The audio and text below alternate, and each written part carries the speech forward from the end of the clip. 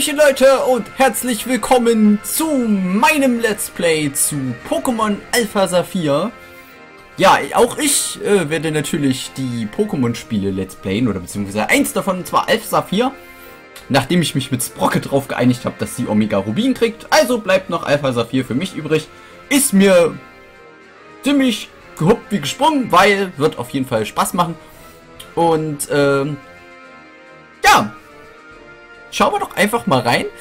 Und äh, ich habe mich ja sehr gefreut auf das Spiel. Ich war nicht so ganz gehypt vom Pokémon äh, Alpha Saphir, aber schauen wir doch einfach mal, was uns erwartet. Ich bin gespannt. Sorry, dass du warten musstest. Willkommen in der Welt der Pokémon. Mein Name ist Birk. Aber jeder nennt mich nur Professor Pokémon.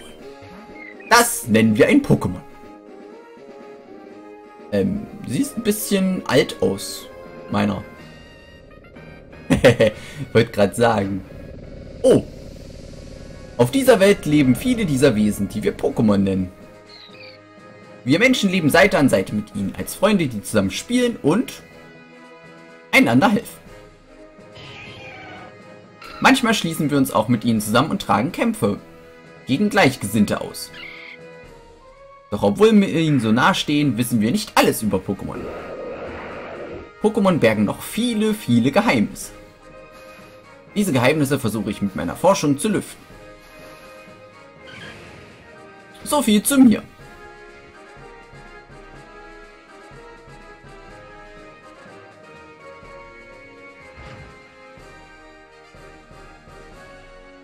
Und wer bist du? Bist du ein Junge oder ein Mädchen? Ich bin natürlich äh, ein, ein, ein Junge, na, ist ja so klar.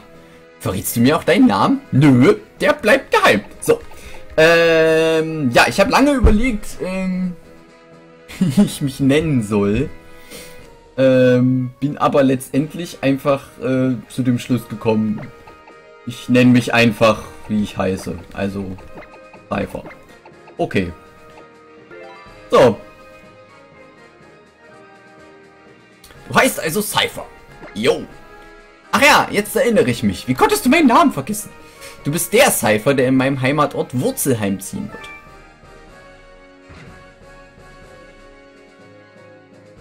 Also gut, bist du bereit?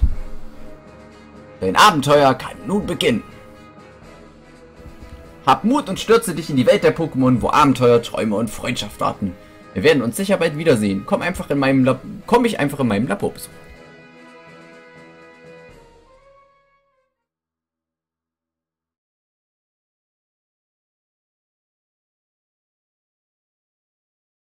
Und wir sind wieder ganz kreativ, wie man das kennt. der dritten Generation. Sind wir natürlich im Umzugswagen mitgefahren. Das ist eine Azure-Puppe. Ihr Geruch weckt alte Erinnerungen. Okay. Na gut. Ja, wieder mal im Umzugswagen.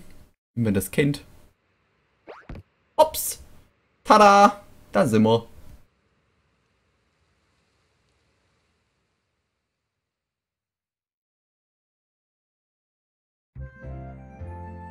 Oh, die Musik. Schön. Hm. Cypher, da bist du ja, Schatz. Die Fahrt im Umzugswagen zwischen all unseren Sachen war bestimmt ermüdet. Ja, ich habe voll die Lampe auf den Kopf gekriegt, Mutter. Mensch, wie wär's mal mit Anschnallen? Aber jetzt bist du ja endlich da. Willkommen im Wurzelheim, unserem neuen Zuhause. Na, wie gefällt es dir? Ich finde dieses Dorf richtig idyllisch. Hier kann man bestimmt wunderbar leben, findest du nicht auch? Und du bekommst natürlich dein eigenes Zimmer, Cypher. Also komm, lass uns hineingehen. Okay, dann schauen wir uns mal unser Zimmer an. Oh, Maschok. Ja, was sagst du, Cypher? Drin ist es auch ganz gemütlich, oder? Pokémon der Umzugsfirma übernehmen für uns das Einräumen und das Saubermachen. Und das für nur zwei Cent. Nein, das ist sowas von praktisch. Das stimmt. Äh. wow. Ich spiele 5 Minuten, 6 Minuten und wir haben bereits den ersten Textfehler. Sehr gut. Es ist ein Maschok, kein Machomai. Egal. Vielen Dank für alles. Gute Arbeit. Mai, mai, mai. Naja, gut. Vielleicht sind sie kurz vor der Entwicklung. Wer weiß. Ja. Schau dir doch mal dein Zimmer oben im ersten Stock an. Party hat dir als kleines Umzugsgeschenk eine neue Uhr gekauft. Stell sie bitte richtig ein, Cypher. Was? Uhr? Wie oldschool-mäßig. Na gut, gehen wir mal in mein Zimmer. Was haben wir denn hier Schönes? Ähm... Oh, wir haben eine Relaxo-Puppe. Das geht ja gut los. Hm, ich liebe Relaxo. Das ist eine Wii U-Konsole. Das Gamepad hat einen eigenen Bildschirm. Wow, yay. Da läuft eine Sendung, die Mutti gefallen würde. Aber es wird Zeit zum Aufbrechen. Na gut. Was ist das für eine Schatzkiste? Gar nichts. Auch nichts. Haben wir was im Mülleimer? Man weiß ja nie. Okay, nee, gut. Gehen wir mal die Uhr einstellen. So, wir haben es aktuell bei mir. Okay, das macht er von selber wahrscheinlich anhand des 3DS. Ja, 19.18 Uhr, es ist eigentlich 18.19 Uhr. Wie kurios. Sehr gut. Cypher, wie gefällt dir dein neues Zimmer? Wie ich sehe, ist alles wunderbar aufgeräumt. Sehr schön. Unten ist auch schon alles komplett eingerichtet. Pokémon-Umzugshelfer sind wirklich praktisch. Ach ja, schau mal nach, ob auch auf deinem Schreibtisch nichts fehlt. Mein Schreibtisch? Cypher blättert durch das Notizbuch. Tipp 1 für Abenteuer öffne das Menü mit dem X-Knopf. Tipp 2 wähle Speichern, deinen Fortschritt zu speichern. Das, wenn das so geht, das wieder so schnell wie in XY? Sogar, glaube ich, so einen Tacken schneller. Okay. So, Schreibtisch checken haben wir gemacht. Da sollten wir bestimmt das Buch. Dann gehen wir mal runter. So. Oh, da bist du ja, Cypher. Schnell, komm her. Da, siehst du? Das ist die Arena von Blütenburg City. Ich glaube, Fatih ist gleich im Fernsehen. Interviewer. Und das war unsere Reportage über die Arena von Blütenburg City. Es folgt eine Ankündigung zur Astronomie-Show, der alle Welt bereits ungeduldig entgegenfiebert. Oh, schon vorbei. Wenn Fatih wirklich im Fernsehen war, dann haben wir ihn leider verpasst. Schade. Ach ja, bevor ich es vergesse, in dieser Stadt wohnt einer von Fatihs Freunden. Professor Birk ist sein Name. Er wohnt gleich nebenan. Schau doch mal bei ihm vorbei und sag Hallo. Das machen wir doch glatt. Denn wir wollen natürlich auch unser erstes Pokémon haben. Geübte Beobachter können ja sich schon ahnen, welches Pokémon ich wählen werde. Aus von Birk. So. Ja, nur mal so als kleiner Hinweis. Sorry. So. Oh, hallo. Wer bist du denn? Ah, du bist Cypher, unser neuer Nachbar. Freut mich sehr. Wir haben eine Tochter in deinem Alter. Sie freut sich schon darauf, dich kennenzulernen. Ich glaube, sie ist oben in ihrem Zimmer. Ich hoffe, ihr werdet gute Freunde. Genau, fremder Nachbarsjunge bricht einfach mal so ins Haus ein und freundet sich mit der Tochter von nebenan an. Still a better love story than Twilight. So. Auch Mai sieht aber süß aus. Verdammt, jetzt hätte ich doch das Mädchen nehmen sollen. Egal. Na gut. Jetzt haben wir den Jungen, jetzt haben wir den Salat. Pokémon bei guter Gesundheit. Items verstaut. Fehlt noch was? Wer, wer bist du denn? Hm. Ach, du bist Cypher. Ihr seid heute, also heute hergezogen. Ich, äh, ich bin Maike. Schön, schön dich kennenzulernen. Mein Traum ist es, mit Pokémon aus der ganzen Welt Freundschaft zu schließen. Als, als Papa, äh, ich meine Professor Burke mir erzählt hat, dass du hierher ziehst. Nun ja, ich hatte gehofft, dass du nett bist und dass wir Freunde werden können. Ach, was rede ich denn da schon wieder? Und das bei unserem, allen, bei unserem allerersten Gespräch.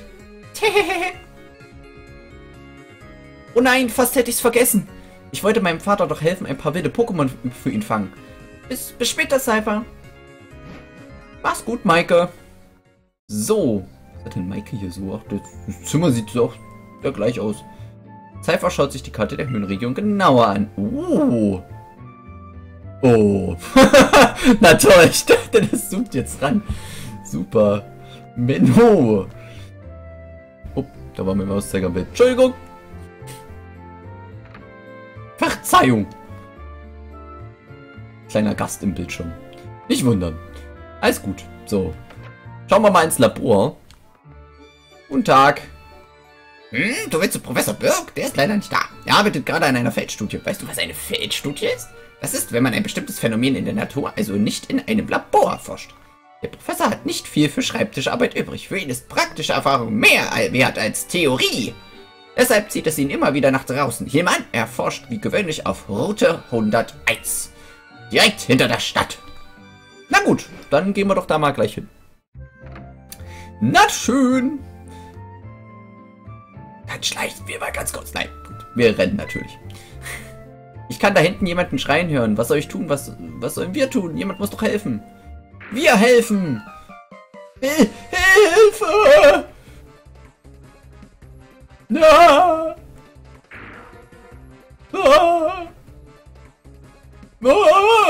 Oh Gott! Hilfe, du da drüben, hilf mir! Schau in meinen Beutel, da drin findest du ein paar Pokebälle! Okay, wir gehen an die Pokebälle und natürlich finden wir da drin, wer hätte es geahnt, drei Starter. Wähle ein Pokémon. Und äh, anhand meines schönen Layouts könnt ihr schon erkennen, äh, ich werde Gekabor nehmen, weil, aus folgendem Grund, ich immer mit dem Pflanzenstarter spiele. Immer. Ich habe äh, mit Bisasam angefangen, Meganie, dann Gekabor. Also nehmen wir Gekabor. Und weil Pflanze Drache voll geil ist als Mega-Evolution. So, und damit gehen wir in unseren ersten Kampf. Und wupp, da ist ein Pfiffchen. Los, Gekabor! Okay. Was hast du denn so Schönes drauf? Du kannst schon mal Absorber. Das ist schon mal voll geil. Äh, ich werde den auch mal einsetzen. Absorber! Na, das macht ja ganz gut Schaden. So, da kommt ein Tackle. Ja. Aber wir können uns ja dank Absorber ein bisschen heilen. Das ist ganz cool für den Anfang. Tada, und das heilt äh, ganze 2 KP. Naja, immerhin. So, äh, ich würde ganz gern mal gucken, was du mit Pfund anrichtest. Ja, glaube ich ein bisschen mehr sogar. Wow! Volltreffer. Holy fuck, no. In meinem allerersten Kampf kriege ich erstmal einen Volltreffer ab. Sehr gut. So, wir heilen uns noch um ein KP oder so. Na, um ein KP. Blops, da geht das Pfiffchen down. Und Gekabor kriegt die Hälfte seiner Leiste als Erfahrung. Ich habe im hohen Gras Pokémon beobachtet, als ich plötzlich von einem angesprungen wurde. Du hast mich gerettet. Vielen, vielen Dank. Oh, aber warte mal. Bist du nicht Normans Sohn Cypher? Ich habe dich erst gar nicht erkannt. Du bist ganz schön groß geworden. Aber das ist, das hier ist nicht der Ort für ein Schwätzchen. Komm doch bitte in mein Pokémon-Labor.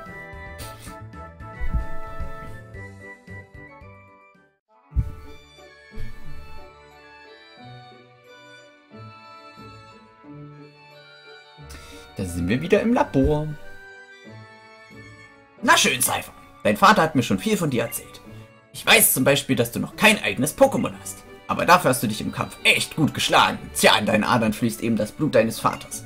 Ich hab's. Als Dank dafür, dass du mich gerettet hast, möchte ich dir das Pokémon schenken, das du eben eingesetzt hast.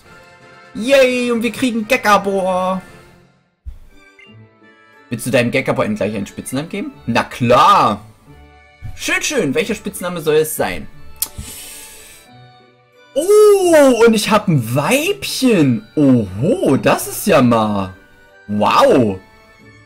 Okay, jetzt hat das natürlich meine Namenswahl voll über den Haufen geworfen, weil ich natürlich damit gerechnet habe, dass wir ein Männchen kriegen. Ach du Schande. Äh, ich wollte es eigentlich Pfundskerl nennen, aber... Ähm... Wir nennen's... Ja, ich hab, ich hab einen ganz coolen Namen. halt, nein, wir wollen natürlich klein schreiben, ist ja klar. Und zwar nennen wir das Gute einfach... Äh, ja, doch. Doch, der Name mag vielleicht ein bisschen blöd erscheinen, aber egal. Wir nennen es einfach Lilifee. Das ist zwar irgendwie ironisch, weil es dann später ein Pflanzendrache ist, aber egal. Wir nennen es Lilifee. Und das ist, glaube ich, sogar mein erster weiblicher Starter. Wenn du dich erst einmal mit, dem po mit Pokémon beschäftigst und Erfahrungen sammelst, wirst du bestimmt ein unglaublich guter Trainer. Meine Tochter Maike stellt gerade auf Route 103 Nachforschungen zu verschiedenen Pokémon an. Hast du nicht Lust hinzugehen und zu schauen, wie es bei ihr läuft? Na klar. Großartig. Maike wird sich auch sehr freuen. Von ihr kannst du lernen, was es bedeutet, ein Trainer zu sein. Ach ja. Wenn du dich verlaufen solltest, dann wirf einen Blick ins Kartennavi deines Pokémulti-Navis. Dort kannst du deinen aktuellen Aufenthaltsort überprüfen und nachsehen, wo Route 103 ist. auf der sich Maike gerade befindet. Falls sich dein Pokémon unterwegs verletzt, nimm es mit zu dir nach Hause und gönne mir etwas Ruhe. Yay! So, jetzt werde ich mal aus Spaß an der Freude, werde ich jetzt einfach mal Gekabor, beziehungsweise Lilifee natürlich, werde ich einfach gucken, was hast denn du... Äh, okay, gut. Wir müssen es... Okay, ja, obwohl das geht. Das Wesen hätte schlimmer sein können. Und ein Initiativewesen auf dem Gekabo ist, glaube ich, gar nicht so doof. Da müssen wir es halt speziell spielen. Das geht. Das geht. Okay. So. Na denn mal los. Also, wir ziehen mit unserem schnellen Gag-Abor, was leider einen doofen Angriff hat, aber dann egal. Ziehen wir jetzt einfach mal los und gucken. Wollen wir mal gucken, was hier auf Route 101 so rumfleucht? Kann man das... Ah, ich klick mal das Kartennavi an. Äh... Warte... Okay, nee, gut. So viel gibt... Ah doch, ich kann das... Wollen? Ah, so. So, wo sind wir denn? Hier sind wir. Route 101. Diese naturbelassene Route verbindet Wurzelheim mit Rosaltstadt und ist wie geschaffen für Feldforschung. Okay, okay. Na gut, dann schauen wir mal, was gibt's denn so auf dieser Route? Eventuell gibt's ja hier schon Pokémon. Oh, ein Wampel. Ist gar nicht so doof. Gar nicht so doof. Wampel ist ganz interessant. So, wir machen auf jeden Fall erstmal die Pfundattacke, auch wenn das weniger, naja, so viel Schaden, macht schon Schaden ordentlich. So. Jetzt machen wir nochmal die Pfundattacke. Bam! Und nochmal ein Tackle. Aua. Ich hatte gehofft, er macht vielleicht mal einen Fadenschuss. Aber na gut. Und nochmal Pfundattacke. Und tschüssi, Wampel. Jawohl! Und Gekabor erreicht Level 6. Vielleicht wird ja der Angriff trotzdem irgendwie ein bisschen brauchbar. Naja. Passt schon. Wie man sich voll Platte über, über, über das Wesen macht, obwohl es ein Durchspielteam ist. Tja. Eigentlich könnte mir das voll egal sein. So. Sind deine Pokémon müde? Dann bring sie in ein Pokémon Center. Es gibt eins gleich hier um die Ecke in Rosaltstadt. So. Dann gehen wir doch mal nach Rosaltstadt. Oh, Hi, ich arbeite in einem Pokémon-Supermarkt. Ich erkenne auf den ersten Blick, dass du ein Trainer-Neuling bist. Na gut, weil ich so ein herzensguter Mensch bin, werde ich dir ein paar nützliche Tipps geben.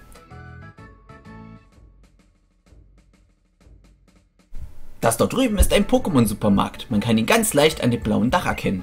Wir verkaufen dort jede Menge nützliche Dinge, wie Pokebälle, mit denen man Pokémon fängt. Ja, das ist für dich ein kleines Werbegeschenk. Oh, und wir halten Tränke. Das mag ich. Tränke kann man überall einsetzen. Genau das macht sie unfassbar praktisch. Und das hier ist ein Pokémon Center. Du kannst es am roten Dach erkennen. Angestellte dort halt ein Pokémon-Team und sorgt dafür, dass es wieder topfit ist. So, das waren sie, meine nützlichen Tipps. Das war doch sehr freundlich von mir, oder nicht? Gute Reise!